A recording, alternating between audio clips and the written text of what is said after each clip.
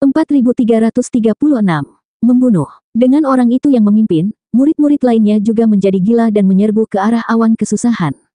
Gila. Mereka semua jadi gila. Semua ahli senior merasakan kulit kepala mereka mati rasa. Bagaimana para murid ini bisa mempercayai Long Chen sejauh ini? Di sisi lain, kesengsaraan surgawi tampaknya dibuat marah dengan tindakan mereka. Tampaknya mendidih, dan panah petir berubah menjadi tombak petir dan menusuk ke arah mereka. Beberapa murid berjuang untuk memblokir tombak-tombak itu dan memuntahkan darah, sementara beberapa lainnya tertusuk. Kebanyakan dari mereka diselimuti oleh kekuatan liar dari kekuatan petir, dan bau terbakar datang dari mereka. Namun, para murid itu terus mengikuti perintah Long Chen dan bertanggung jawab. Beberapa Triple Supremes adalah orang pertama yang melawan aliran petir dan menyerang awan kesusahan. Mengaum. Akibatnya, binatang petir muncul dari jantung awan kesengsaraan, menekan mereka kembali, namun semakin banyak murid yang terus mendaki. Tiba-tiba, dada Triple Supreme ditembus oleh salah satu binatang petir itu. Dan saat binatang petir itu hendak mencabik-cabiknya. Boom! Sebuah panah petir hitam terbang keluar dan menghancurkan binatang petir itu, menyelamatkan orang itu. Kemudian, Leilinger yang mungil muncul. Leilinger tenggelam dalam kesengsaraan surgawi. Karena petir ini adalah makanannya, tentu saja dia tidak akan melepaskannya. Namun, sekarang bukanlah waktu yang tepat untuk menyerap semuanya. Dia hanya akan mulai mengambil bagiannya ketika para murid tidak tahan lagi.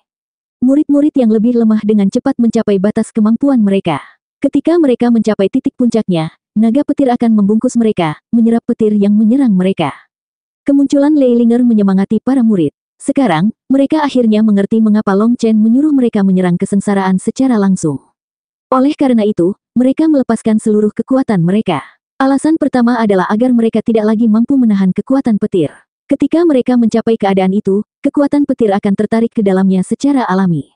Alasan kedua adalah untuk mengekstraksi kekuatan kesengsaraan yang sangat besar. Mereka harus terus-menerus menyerangnya untuk mempersingkat waktu kesengsaraan.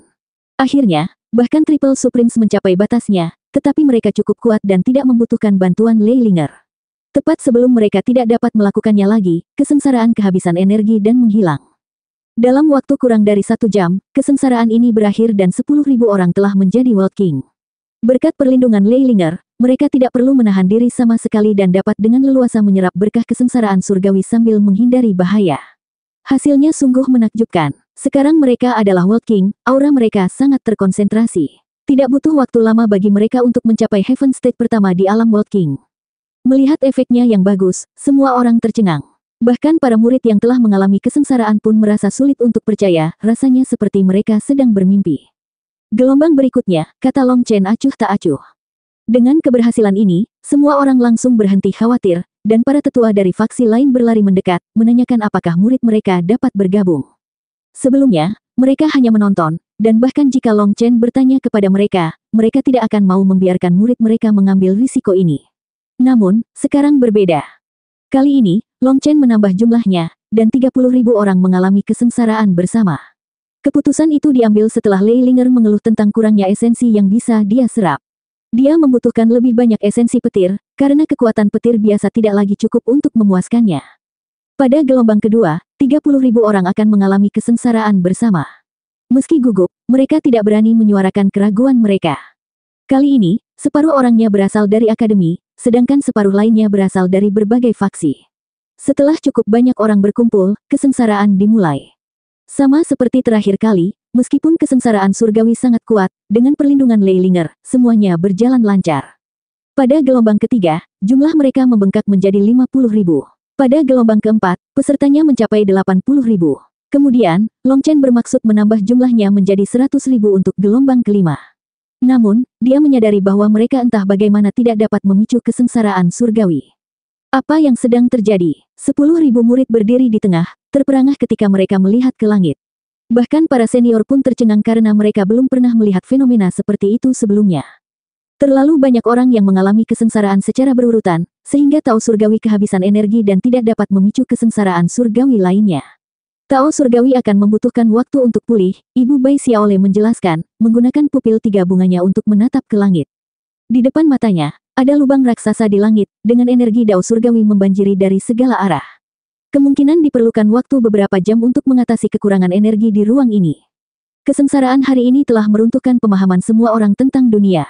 Metode curang seperti itu adalah sesuatu yang tidak pernah mereka pikirkan. Bagaimana itu? Long Chen bertanya pada Leilinger yang telah kembali ke ruang kekacauan utama. Hehe, aku merasa kenyang. Saya mulai bertransformasi. Ekspresi serius Leilinger menghilang, dan dia terkikik. Long Chen juga dapat melihat bahwa Leilinger sudah mulai memiliki aura alam World King. Kekuatan petirnya sedang mengalami transformasi kualitatif. Sayang sekali kekuatan petir mereka terlalu lemah. Saya menantikan kesengsaraan surgawi kakak. Leilinger penuh antisipasi, seperti seorang pecinta kuliner rakus yang menunggu pesta. Makananmu itu pasti akan datang. Namun, kamu harus tumbuh lebih kuat, atau akan terlalu sulit untuk kamu telan, kata Long Chen sambil tersenyum. Entah itu ahli naga atau ayahnya sendiri, mereka semua mengatakan bahwa kesengsaraan yang akan datang akan sangat dahsyat. Ini juga pertama kalinya Long Chen merasakan tekanan yang sangat besar dari kesengsaraan yang akan datang. Dia mempunyai firasat bahwa kesengsaraan surgawi berikutnya akan membawa karma yang sangat berat, sehingga mungkin merupakan cobaan berat yang mengancam jiwa. Oleh karena itu, Leilinger harus tumbuh lebih kuat. Dengan begitu, dia bisa benar-benar membantu selama kesengsaraannya. Bagaimanapun, dia adalah kartu as yang menyelamatkan nyawanya.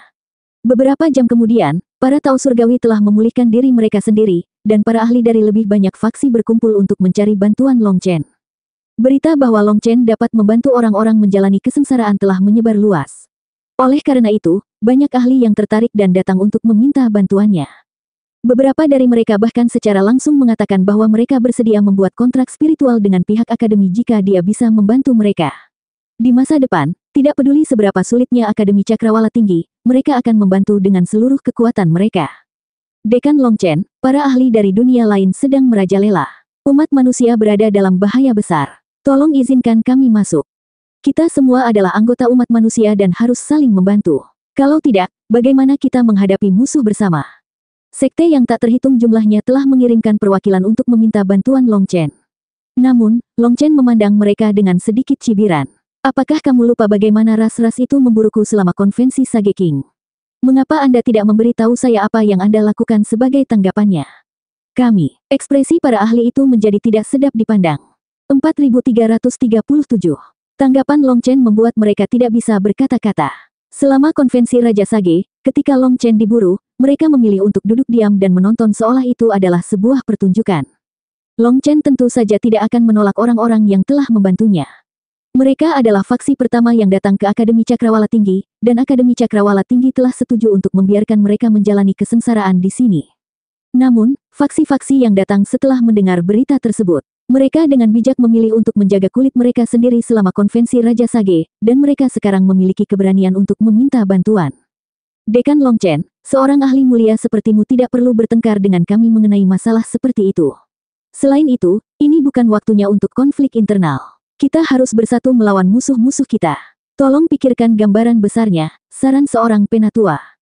Kata yang bagus, kita harus bersatu dan memikirkan gambaran besarnya.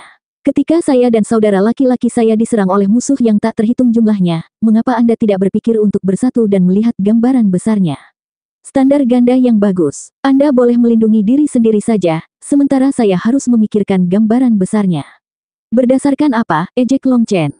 Benar, berdasarkan apa? Di panggung bela diri, saudara magang senior Long Chen melindungi kami.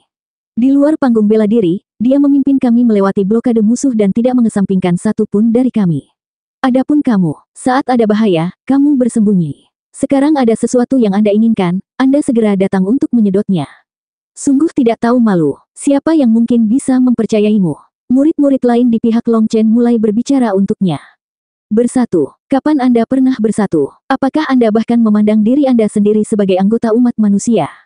Tepatnya, siapa yang tahu apakah kamu akan memikirkan dirimu sendiri lagi dan berpihak pada ras lain ketika gerbangnya terbuka? Anda mungkin orang pertama yang menusuk kami dari belakang. Para murid di pihak Long Chen, serta para murid yang telah mengalami kesengsaraan dan masih di sini, dengan marah mengutuk para tetua itu. Mayoritas murid-murid ini telah bertarung bersama Long Chen di panggung bela diri Sage King, dan beberapa dari mereka memiliki latar belakang rendahan dan bahkan tidak memiliki penjaga setengah langkah abadi atas keluarga atau sekte mereka. Namun, Akademi Cakrawala Tinggi masih mengizinkan mereka datang. Bahkan ketika Akademi hanya bisa melindungi beberapa ratus orang sekaligus selama kesengsaraan mereka, Akademi tetap membiarkan mereka mengantri. Sikap ini membuat mereka merasa sangat bersyukur. Fakta bahwa puluhan ribu orang akan mengambil risiko menjalani kesengsaraan bersama-sama, semata-mata berdasarkan perkataan Long Chen, adalah bukti kepercayaan mereka yang tak tergoyahkan kepadanya. Sekarang, orang-orang tua yang tidak tahu malu ini memiliki keberanian untuk tampil dan meminta bantuan di depan mereka. Mereka hanya meminta untuk dikutuk. Wajah para tetua itu memerah setelah dikutuk oleh sekelompok junior, tapi mereka tidak bisa membalas. Dekan Long Chen, kami tahu kami salah. Jika Anda marah, kami akan bersujud kepada Anda sebagai permintaan maaf. Tapi anak-anak kami tidak bersalah. Tidaklah adil untuk menghukum mereka atas keputusan bodoh kita. Mereka masih muda dan punya masa depan. Jika masa depan itu hancur karena kita, kita tidak akan pernah bisa menebusnya, bahkan dalam kematian. Seorang tetua melangkah maju dan perlahan berlutut ke arah Long Chen. Long Chen melambaikan tangannya, dan tetua itu langsung dipaksa mundur, tidak bisa berlutut.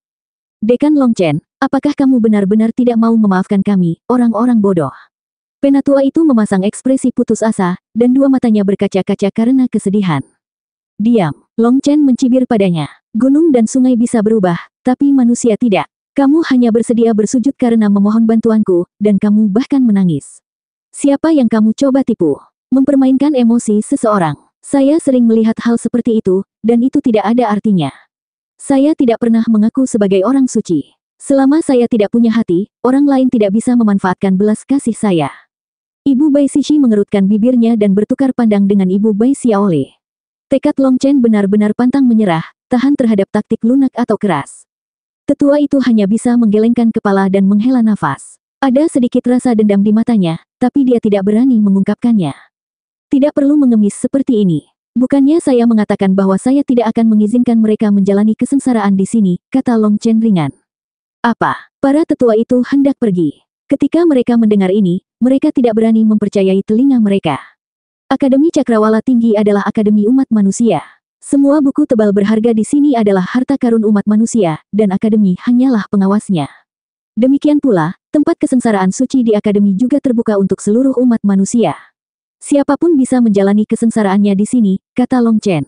Kalau begitu, apakah kamu mengatakan bahwa kamu akan mengizinkan murid-murid kami menjalani kesengsaraan di sini? Tanya seorang tetua dengan suara bergetar. Tentu saja, mereka bisa menggunakannya kapan pun mereka mau, kata Long Chen sambil mengangkat bahu. Bolehkah saya bertanya apakah murid-murid kami akan menerima perlindungan Anda selama kesengsaraan mereka? Tanya seorang penatua yang lebih tajam yang melihat inti masalahnya. Lagi pula, tidak ada artinya jika Long Chen tidak melindungi mereka selama kesengsaraan. Apakah kamu ingin menjalani kesengsaraan bersama kami? Tanya Long Chen sambil menoleh ke murid-murid di belakang para tetua. Murid-murid itu diam, dan tidak satu pun dari mereka yang berani bersuara.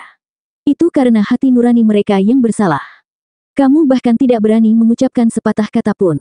Lalu apa gunanya berkultivasi? Kubur saja dirimu di dalam tanah dan selesaikan saja, ejek Long Chen. Ya, kami ingin menjalani kesengsaraan di bawah perlindungan Anda, teriak seorang murid muda. Kalau begitu aku menanyakan ini padamu. Jika aku melindungimu sekarang, saat aku dalam masalah, apakah kamu akan melempariku dengan batu? Akankah kamu menusukku dari belakang? Akankah kamu mengangkat pedangmu melawan umat manusia? Tanya Long Chen dengan tegas. Tidak, Tentu saja tidak. Aku bersumpah demi jiwaku untuk selamanya setia kepada saudara magang senior Long Chen, teriak murid itu. Lalu bagaimana jika suatu saat saya menjadi orang jahat dan mulai membantai umat manusia? Bagaimana jika aku mengangkat pedangku melawan rasku sendiri? Tanya Long Chen. Aku, murid itu menjadi bisu, tidak tahu bagaimana harus merespons. Yang lain juga terkejut karena mereka tidak mengetahui maksud pertanyaan ini. Namun, itu cukup menakutkan. Saya bisa melindungi Anda selama kesengsaraan Anda, dan saya tidak akan meminta siapa pun untuk bersumpah setia kepada saya. Namun, saya ingin Anda bersumpah dalam hati Anda untuk tetap benar selamanya, bersumpah setia kepada umat manusia. Anda tidak bisa membiarkan diri Anda didorong oleh keuntungan, dipaksa oleh tekanan. Kamu tidak akan pernah bisa melawan hati nuranimu, kata Long Chen. Aku bersumpah, saya akan mengabdikan diri saya pada umat manusia, menjadi orang benar, tidak membungkuk demi keuntungan atau tekanan. Saya tidak akan pernah mengkhianati hati nurani saya. Murid yang tak terhitung jumlahnya segera melangkah maju, mengangkat tangan mereka ke arah langit dan mengumpat. Long Chen perlahan tersenyum setelah mendengar sumpah mereka. Dengan demikian, meskipun generasi senior mengkhianati umat manusia, generasi ahli baru tidak akan disesatkan oleh mereka. Yang sudah bersumpah, berbaris gelombang pertama dari seratus ribu murid akan memulai kesengsaraan mereka. Melihat seratus ribu murid mengantri, Long Chen merasa senang di dalam. Begitu banyak orang yang mengalami kesengsaraan. Saya pasti bisa mengubah Leilinger menjadi eksistensi tingkat abadi. 4338. Berita tentang Long Chen membantu orang-orang menjalani kesengsaraan menyebar jauh dan luas, dan siapa pun dari ras manusia atau ras yang memiliki afiliasi positif dengan kemanusiaan dipersilakan untuk berpartisipasi. Mereka hanya perlu bersumpah untuk tidak pernah mengkhianati umat manusia dan menjaga kebenaran di dalam hati mereka. Setelah janji ini dibuat, mereka dapat bergabung dengan barisan orang-orang yang menjalani kesengsaraan. Dengan ini, bahkan faksi yang memiliki hubungan buruk dengan Long Chen mengizinkan murid mereka untuk datang. Bagaimanapun, tindakan Long Chen telah menggerakkan banyak ahli. Jenius surgawi yang tak terhitung jumlahnya berkumpul menuju tempat ini. Long Chen tidak peduli dengan bakat atau asal-usul mereka, selama mereka datang dan bersumpah, mereka bisa berbaris untuk menjalani kesengsaraan. Namun, terlalu banyak orang yang menjalani kesengsaraan di sini sehingga tanah suci tidak memiliki energi dao surgawi yang cukup untuk mempertahankan kesengsaraan yang terus-menerus. Setelah seratus ribu orang mengalami kesengsaraan kolektif, para Tau Surgawi membutuhkan dua jam untuk memulihkan energi mereka yang terkuras. Long Chen merasa ini terlalu lambat. Jika mereka tidak menunggu, mereka bisa mengalami empat kesengsaraan selama periode ini. Oleh karena itu, Long Chen memerintahkan pembangunan formasi teleportasi jarak jauh. Setelah kesengsaraan selesai di satu area, Long Chen langsung melewati formasi teleportasi ke area lain. Bagaimanapun, surga luapan nirwana memiliki beberapa tanah suci untuk menjalani kesengsaraan. Setelah menjalani kesengsaraan di satu tanah suci, Long Chen membawa kelompok berikutnya ke tanah suci kedua. Para Tao Surgawi mungkin perlu memulihkan energi mereka, tetapi Long Chen tidak melakukannya, jadi mereka terus berputar melalui empat negeri kesengsaraan suci. Untuk melindungi murid umat manusia saat mereka menjalani kesengsaraan, Long Chen menyuruh Lei Linger membantai semua penjajah yang datang untuk menimbulkan masalah. Akibatnya, mereka dengan cepat ditangani bahkan sebelum mereka sempat mendekat. Setelah setiap kesengsaraan, kekuatan Lei Linger meningkat, secara bertahap mulai melampaui kekuatan Long Chen. Oleh karena itu, penjajah tidak punya kesempatan untuk lari. Menghadapi kecepatan gabungan Long Chen dan Lei Linger, mereka tidak punya harapan untuk melarikan diri. Long Chen menghabiskan sepanjang hari bekerja, membuat banyak ahli berterima kasih padanya. Beberapa ahli bahkan menyarankannya untuk beristirahat sambil memandangnya dengan mata memuja. Bagaimanapun, dia juga akan menerobos ke ranah World King, dan dia tidak boleh menunda kultivasinya. Namun, Long Chen menolak saran baik mereka. Dia terus bekerja siang dan malam untuk mendukung murid-murid ini. Saat banyak orang tergerak oleh kemurahan hatinya, Long Chen sangat gembira. Kekuatan Leilinger yang semakin besar membuat tulang punggung Long Chen merinding. Untungnya, dia bukan hewan peliharaan tetapi anggota keluarga yang disayanginya. Kalau tidak, pengkhianatannya pasti akan berakibat fatal baginya. Lei Linger terus tumbuh lebih kuat, tetapi Long Chen tidak mengungkapkan hal itu kepada siapa pun. Auranya secara bertahap mencapai titik di mana menyembunyikannya menjadi semakin menantang. Oleh karena itu, Long Chen memikirkan solusinya, membaginya menjadi sembilan tubuh, membagi kekuatannya menjadi sembilan bagian yang sama. Sementara yang lain beristirahat, yang satu terus bekerja. Ini akan menjamin auranya tetap stabil.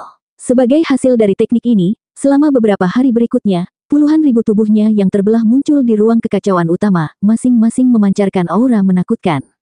Saat Long Chen menjadi gila membantu orang lain menjalani kesengsaraan mereka di berbagai negeri suci, puluhan juta jenius surgawi berhasil maju tanpa satu korban pun. Jumlah orang yang datang berangsur-angsur berkurang, dan mereka tidak lagi membutuhkan keempat tanah suci tersebut. Empat berkurang menjadi tiga, tiga menjadi dua, dan setelah 20 hari, hanya tanah suci Akademi Cakrawala Tinggi yang masih beroperasi.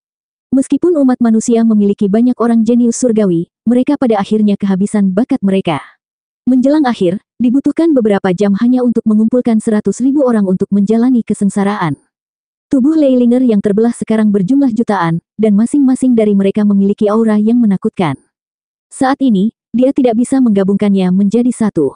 Itu karena begitu dia melakukannya, dia akan mengalami perubahan kualitatif. Setelah itu, bahkan jika dia membelah dirinya lagi, itu akan sia-sia karena auranya akan berbeda secara mendasar. Dua hari kemudian, hanya 70 ribu orang yang mengalami kesengsaraan kolektif, dan itu saja. Apakah ini sudah berakhir? Lei Linger sedikit kecewa. Dia masih memiliki ruang untuk perbaikan, tetapi tidak ada lagi kesengsaraan yang bisa dia dapatkan darinya. Lei Linger, ayo cari tempat bagimu untuk menggabungkan tubuhmu yang terbelah. Kita lihat saja hasil seperti apa yang kita dapatkan, kata Long Chen. Baiklah, Lei Linger, yang sudah lama ingin menggabungkan semuanya, sudah sangat ingin melanjutkannya. Dekan Long Chen, terima kasih. Puluhan ribu orang abadi setengah langkah menangkupkan tinju mereka ke arah Long Chen. Para tetua ini pada dasarnya adalah fosil hidup dan hanya bertahan hingga nafas terakhir mereka hanya untuk mengintimidasi beberapa musuh bebuyutan mereka. Masuknya primal Keoski tidak memungkinkan mereka untuk maju. Namun, hal itu sedikit meningkatkan umur panjang mereka. Paling tidak, mereka masih ada selama beberapa abad lagi. Orang-orang tua ini secara pribadi membawa murid-murid mereka ke sini untuk mendapatkan kesempatan bagi mereka dan untuk mengungkapkan ketulusan mereka. Setelah murid-murid mereka menyelesaikan kesengsaraannya, mereka tidak segera pergi. Sebaliknya, mereka berdiri bersama orang lain, menjaga tanah suci. Melihat Long Chen hendak pergi, mereka semua mengucapkan terima kasih bersama.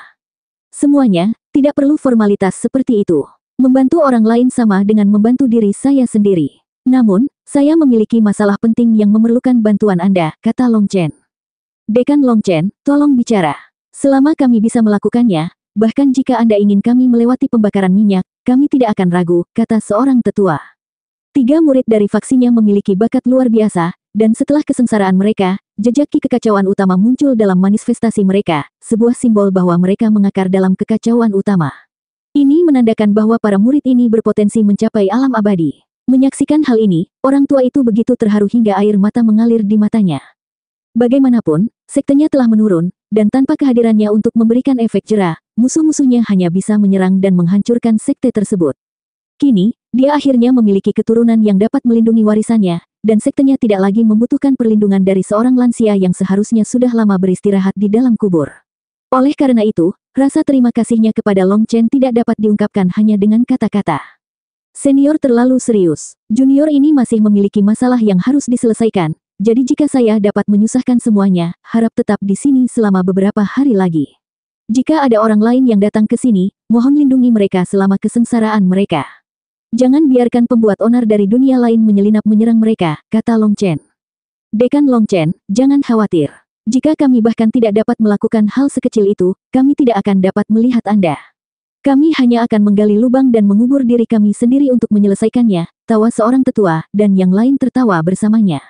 Mendengar ini, Long Chen mengangguk dan melambaikan tangan. Melihat tatapan hangat dari kelompok ahli senior ini, hati Long Chen sedikit menghangat. Manusia adalah makhluk hidup yang paling rumit dan paling berubah-ubah. Namun, sisi baik dari sifat manusia selalu yang paling menyentuh. Karena tatapan tulus itu bisa mengungkapkan perasaan mereka yang sebenarnya, betapa indahnya jika hati manusia bisa sedikit lebih jujur. Sayap emas muncul di punggung Long Chen dan dia terbang. Satu jam kemudian, dia mendarat di tanah terpencil. Boom! Saat dia tiba, jutaan naga petir muncul di udara.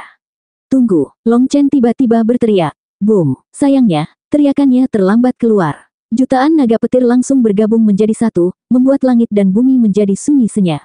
Setelah itu, aura ledakan meletus ke segala arah seperti tsunami yang tak terbendung.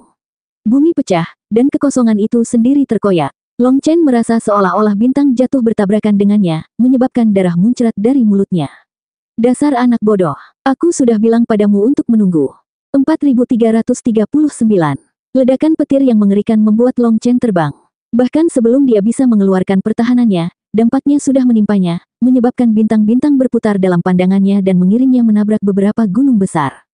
Dia bahkan tidak tahu seberapa jauh dia terbang sebelum berhenti. Saat itu, sambaran petir terbang ke arahnya.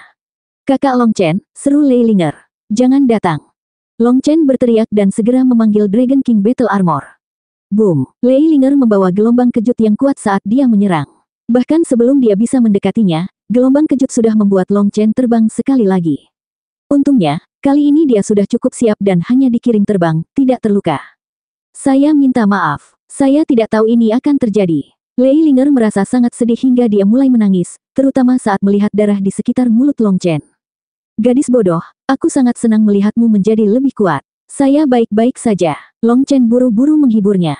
Tidak peduli seberapa kuat Lei Linger tumbuh, hati aslinya tidak berubah.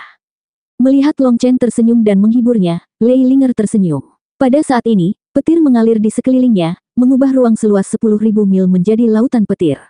Aura ledakannya seperti kesengsaraan surgawi karena memiliki kemauan destruktif yang luar biasa.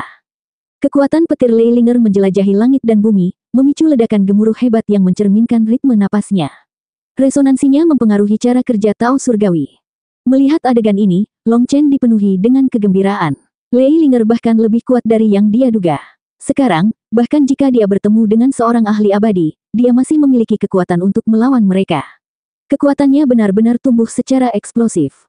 Long Chen kemudian menyuruh Lei Linger mulai mempraktikkan kendalinya atas kekuatan baru ini. Namun, kekuatan spiritualnya terlalu lemah, jadi dia perlu meminjam kekuatan Long Chen. Lei Linger begitu kuat dan lepas kendali sekarang sehingga dia tidak bisa kembali ke ruang kekacauan utama. Dengan kendalinya sekarang, kekuatannya hanya akan membahayakan pohon bulan dan pohon fusang. Inilah sebabnya Long Chen menyuruhnya melakukan fusi di dunia luar. Long Chen menemani Lei Linger saat dia mulai terbiasa dengan kekuatan ini. Suatu hari kemudian, lautan petir di sekelilingnya menyusut menjadi hanya beberapa puluh mil. Saat itulah Long Chen membiarkannya kembali ke ruang kekacauan utama. Dia terus menyempurnakan dan mencerna kekuatan barunya secara perlahan di dalam ruang kekacauan utama. Sementara itu, Long Chen kembali ke akademi. Ketika dia tiba, dia segera memasuki pengasingan karena dia perlu menyesuaikan esensi, ki, dan rohnya ke kondisi puncaknya. Dia menenangkan semua pikirannya yang mengganggu, membiarkan dirinya memasuki keadaan melupakan segalanya. Ini semua agar dia berada dalam kondisi terkuat untuk kesengsaraannya. Tujuh hari kemudian, Long Chen keluar dari pengasingan, dan para prajurit Dragon Blood juga berkumpul sepenuhnya. Yang mengejutkan Long Chen adalah mereka semua mengenakan armor baru dengan senjata baru di punggung mereka. Melihat keterkejutan Long Chen, Guoran tersenyum bangga. Bos, bagaimana menurutmu? Xia Chen dan saya bekerja siang dan malam untuk membuatnya. Bukankah ini terlalu cepat? Apa tingkatan set armor dan senjata ini? Long Chen mau tidak mau bertanya. Mereka tidak memiliki tingkatan. Semua bahan yang dimasukkan ke dalamnya adalah logam abadi dan surgawi terbaik yang digunakan untuk menempa senjata surgawi abadi. Namun, berdasarkan perhitungan kami, Xia Chen dan saya harus mencapai setidaknya alam Divine Venerate sebelum kami dapat membuat senjata surgawi abadi. Kami tidak bisa menunggu selama itu, jadi kami pergi ke arah lain.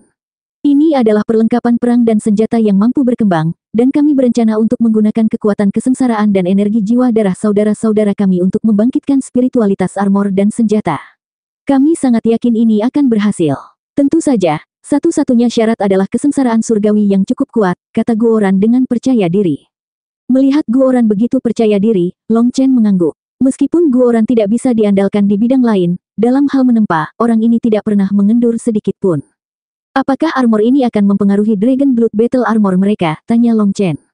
Tentu saja tidak. Setelah roh-roh perlengkapan perang ini lahir, mereka akan menyatu dengan tuan mereka secara mulus, memungkinkan saudara-saudara kita untuk memanggil mereka sesuka mereka. Hanya ketika tubuh fisik mereka mencapai batasnya, armor itu akan muncul secara otomatis. Selain itu, armor ini dilengkapi dengan reservoir energinya sendiri dalam bentuk batu roh primal chaos, dan juga terhubung dengan senjatanya, sehingga mampu menyerang dan bertahan. Ketika energi darah naga saudara kita habis, mereka dapat memanfaatkan reservoir energi ini, dan itu akan cukup bagi mereka untuk keluar dari pengepungan. Ini adalah kartu truf terakhir yang menyelamatkan nyawa. Guoran sangat senang dengan pekerjaannya. Pekerjaan yang baik, Long Chen memberinya acungan jempol. Ciptaan Guoran dan Xia Chen sungguh menakjubkan. Ayo pergi. Ini waktunya kesengsaraan kita. Mendengar bahwa akhirnya tiba giliran mereka untuk menjalani kesengsaraan World King, semua orang bersemangat karena mereka akan segera menjadi lebih kuat. Selain itu, karena darah naga mereka memerlukan baptisan kesengsaraan surgawi untuk menyelesaikan fusi dengan mereka, mereka juga tidak tahu seberapa kuat mereka setelah kesengsaraan ini. Namun, mereka mempunyai firasat bahwa mereka akan mengalami transformasi besar, melepaskan diri mereka yang lama sepenuhnya. Peringatkan saudara-saudara kita yang lain. Bersiaplah untuk berkumpul, kata Long Chen. Hehe, tidak perlu. Semua orang sudah berkumpul tiga hari yang lalu. Elit terkuat dari Istana Dewa Pertempuran dan Akademi Cakrawala Tinggi, serta tujuh juta murid dari Sekte Sungai Berbintang, semuanya menunggu perintah Anda, kata Guoran sambil tertawa. Bagus, ayo pergi. Setelah konvensi Raja Sage, Long Chen mengetahui bahwa Sekte Sungai Berbintang memiliki sekitar 8 juta ahli, dengan 7 juta di antaranya adalah Immortal King. Karena itu yang terjadi, Long Chen telah mengirim pesan ke Sekte Sungai Berbintang untuk tidak membiarkan murid-murid mereka mengalami kesengsaraan dan hanya menunggunya. Akibatnya, semua murid mereka berbondong-bondong datang saat Long Chen kembali. Saat mereka melihatnya lagi, mata mereka menyala-nyala. Kekaguman mereka pada Long Chen terlihat jelas. Bagaimanapun, Long Chen telah sepenuhnya mengubah nasib mereka. Pemahaman yang mereka peroleh darinya di reruntuhan Sekte Sungai Berbintang telah memungkinkan mereka untuk menginjakkan kaki ke jalan yang benar. Mereka tidak lagi berkeliaran sembarangan. Dekan Long Chen, kamu tidak bisa menjalani kesengsaraanmu di sini. Saat itu, sekelompok tetua datang berlari masuk, dan mereka memasang ekspresi panik. Apa itu? Tanya Long Chen buru-buru. Kami baru saja menerima laporan. Di depan gerbang dunia tanpa manusia, beberapa pengkhianat telah menyiapkan formasi teleportasi. Sejumlah besar penyerbu telah memasuki surga luapan nirwana, dan kemungkinan besar target mereka adalah Anda. Mendengar informasi ini, Xia Chen dan yang lainnya sangat marah. Pada akhirnya, pengkhianat muncul dalam umat manusia. Bos, ini tidak bagus. Jika salah satu dari sembilan monster itu datang, kata Xia Chen. Sembilan jenius surgawi itu sangat menakutkan. Jika mereka sudah menjadi World King dan memanfaatkan kesengsaraan untuk menyerang, Long Chen dan yang lainnya mungkin akan dimusnahkan sepenuhnya. Cih, biarpun kesembilannya datang sekaligus, terus kenapa? Seperti biasa, kami akan menghajar mereka hingga kepalanya bengkak seperti kepala babi. Ayo pergi, kita lihat saja apakah mereka punya nyali untuk menimbulkan masalah. Long Chen dengan jijik melangkah maju. Mereka ingin mengganggu kesengsaraan surgawinya. Mungkin mereka sudah bosan hidup. Long Chen berterima kasih kepada para tetua atas niat baik mereka dan membawa kelompoknya pergi. Setelah itu, mereka dengan gagah berani turun ke Tanah Suci. 4340. Bos, apakah kamu yakin? Guoran berbisik. Jangan khawatir, siapa pun yang mendekati kesengsaraan surgawi saya akan mati begitu saja. Bahkan jika seluruh ahli di dunia tanpa manusia datang, mereka hanya akan membuang nyawa mereka, kata Long Chen. Ini bukan kepercayaan Long Chen pada dirinya sendiri, tetapi pada skala kesengsaraan surgawi yang mengerikan. Lalu kenapa kamu tidak menjalani kesengsaraan surgawi di dunia tanpa manusia? Tanya Guoran. Apakah kamu bodoh? Bahkan jika aku melakukan hal seperti itu, begitu mereka menyadari bahwa mereka pasti akan mati, apakah mereka akan langsung menyerang? Long Chen memarahi. Anak kecil ini hanya pintar dalam menempa. Oh itu benar. Guoran menyentuh keningnya. Jika mereka menjalani kesengsaraan di dunia lain, musuh mereka hanya akan menunggu akhir dari kesengsaraan mereka dan menyerang mereka dalam keadaan lemah. Pada saat itu, Long Chen tidak berdaya untuk melawan. Yah, jika mereka benar-benar berani menyerang kesengsaraan surgawi kita, mereka akan mengirim diri mereka sendiri ke kematian. Saya curiga mereka akan melancarkan serangan segera setelah masa kesusahan besar berakhir, jadi bersiaplah secara mental. Namun, tidak perlu terlalu khawatir, dengan menghadapi kesengsaraan ini bersama-sama, Aku yakinkan kalian bahwa aku akan menjadi orang terakhir yang menyelesaikannya. Ketika Anda telah mencapai batas kemampuan Anda, Anda bisa keluar dari inti kesengsaraan surgawi. Setelah bagian saya selesai, Anda secara alami akan maju. Semuanya akan sama seperti biasanya, kata Long Chen. Long Chen pernah mengalami kesengsaraan dengan semua orang sebelumnya, dan karena mereka menghadapinya secara kolektif, mereka harus menunggu sampai semua orang menyelesaikannya sebelum mereka semua bisa maju. Pada akhir kesengsaraan, Long Chen selalu menghadapinya sendirian, dan sisanya akan menikmati istirahat untuk pulih sebelum kesengsaraan berakhir sepenuhnya. Alhasil, ketika mereka menjadi World King, mereka masih berada dalam kondisi puncak. Tempat yang dipilih Long Chen kali ini bukanlah tanah suci Akademi Cakrawala Tinggi. Sebaliknya, itu adalah tanah suci lain yang terletak di hutan belantara. Karena jumlah mereka dan aura yang tidak stabil saat mereka akan mengalami kesengsaraan, mereka tidak menggunakan formasi teleportasi. Sebaliknya, mereka menghabiskan enam jam terbang sebelum tiba, dan tempat ini sudah dipenuhi oleh para ahli. Saudara magang senior Long Chen, kami akan menjagamu. Silakan jalani kesengsaraan Anda tanpa rasa was-was. Selama kami masih memiliki satu nafas tersisa, kami tidak akan membiarkan siapa pun mengganggu Anda. Jutaan ahli umat manusia berteriak serempak, suara mereka menggetarkan langit. Mereka terdiri dari murid-murid yang baru saja menyelesaikan kesengsaraan dan para tetua mereka, dan mereka semua menjadi pelindung Long Chen. Setelah mendengar tentang penjajah yang datang untuk menimbulkan masalah bagi Long Chen, orang-orang ini berkumpul dari setiap sudut surga luapan nirwana. Beberapa murid bahkan meninggalkan pengasingan mereka untuk datang melindunginya. Melihat begitu banyak orang bersorak untuknya, Long Chen merasakan darahnya memanas. Dia bahkan ingin menangis sedikit. Keberadaan orang-orang berdarah panas tersebut membuktikan bahwa keputusannya tepat. Meskipun dia tidak pernah meminta imbalan apa pun ketika dia mengambil keputusan, semangat kuat mereka sangat menyentuh hatinya. Oleh karena itu, Long Chen menangkupkan tinjunya ke arah mereka. Pada saat yang sama, dia merasakan keyakinan yang lebih besar atas kesengsaraan yang akan datang, dan energi tak kasat mata mengalir di dalam hatinya. Pada titik tertentu, biji teratai emas di dalam ruang kekacauan utama mulai bersinar seperti matahari. Cahaya surgawi keemasannya menyebar ke setiap sudut ruang kekacauan utama. Dengan sorak-sorai dan teriakan dari banyak orang, Long Chen dan yang lainnya memasuki wilayah inti dari tanah kesengsaraan suci ini. Sementara itu, Para pendukung membentuk tembok manusia di sekelilingnya. Saudara magang senior Long Chen, berhati-hatilah. Pengkhianat telah muncul dalam umat manusia, dan mungkin saja mereka ada di tengah-tengah kita, salah satu dari mereka berseru dengan mendesak. Pakar lainnya menambahkan, memang benar, saya pernah mendengar rumor bahwa ada manusia yang membantu ras lain, bahkan menyamarkan mereka sebagai ras kita sendiri. Tampaknya hampir mustahil untuk mengidentifikasi mereka. Long Chen tersenyum dan melambai kepada mereka, memberi isyarat agar mereka merasa tenang. Dia berkata, jangan khawatir, selama masa kesengsaraan, saya tidak terkalahkan. Apalagi mereka, bahkan ahli abadi pun akan mengiring diri mereka sendiri ke kematian jika mereka datang. Kedatanganmu ke sini sudah membuatku sangat tersentuh. Namun, saya harus meminta Anda untuk mundur lebih jauh ke belakang. Skala kesengsaraan yang akan datang ini mungkin agak besar. Raungannya yang mendominasi menimbulkan sorakan dari para pelindung, dan mereka segera mundur. Mulai, jutaan ahli secara langsung melepaskan aura mereka dan menghancurkan segel pada basis kultivasi mereka, langsung menerobos kemacetan mereka. Saat berikutnya, langit cerah langsung berubah menjadi gelap, dan awan kesusahan menutupi dunia. Demi dewa, ini sangat besar. Awalnya, orang mengira mereka telah mundur terlalu jauh, hanya untuk melihat awan kesusahan muncul di balik cakrawala. Jadi, mereka buru-buru mundur semakin jauh karena tidak baik jika mereka terjebak dalam kesengsaraan ini. Tetapi jika kita melangkah lebih jauh, kita tidak akan mampu membentuk pertahanan yang kokoh. Berdasarkan ini, mungkin kitalah yang perlu dilindungi, lari. Jangan main-main dan akhirnya menimbulkan masalah, teriak seorang penatua. Para tetua ini datang karena dua alasan. Salah satu alasannya hanyalah etiket. Bagaimanapun, Long Chen telah banyak membantu mereka, jadi mereka harus datang. Bahkan jika itu tidak berguna, hanya menyemangati dia dianggap sebagai sesuatu. Alasan lainnya adalah karena pengalaman mereka. Jika memang ada serangan diam-diam, orang tua seperti mereka akan lebih berguna daripada World King baru dari generasi junior. Mereka berharap pengalaman mereka yang lebih besar dapat bermanfaat. Namun, melihat kesengsaraan surgawi yang tak terbatas, bahkan para tetua abadi setengah langkah pun merasa ketakutan, jadi mereka mengarahkan semua orang untuk terus mundur. Boom! Saat itu, semburan petir menyambar di pusat kesengsaraan surgawi. Itu seperti bendungan yang jebol, dan banjir yang diakibatkannya menghantam Long Chen dan yang lainnya. Ini dimulai. Hati semua orang berdebar kencang.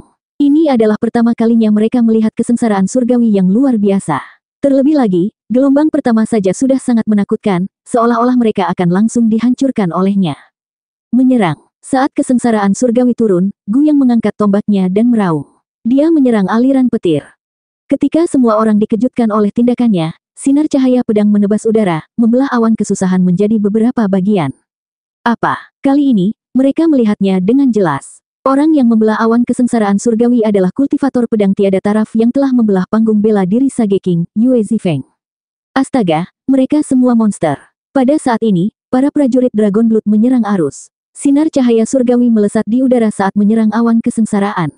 Setelah serangan liar ini, para murid Istana Dewa Pertempuran, Akademi Cakrawala Tinggi, dan Sekte Sungai Berbintang pun mengikutinya. Hanya Long Chen yang masih berdiri di tanah. Apa yang sedang terjadi? Kakak magang senior Long Chen tidak sedang menjalani kesengsaraannya. Pada saat ini, orang-orang menyadari bahwa aura Long Chen masih sama, terjebak di alam Immortal King. Saat itu, raungan marah mengguncang langit, dan binatang petir yang tak ada habisnya muncul di langit, mengelilingi semua orang.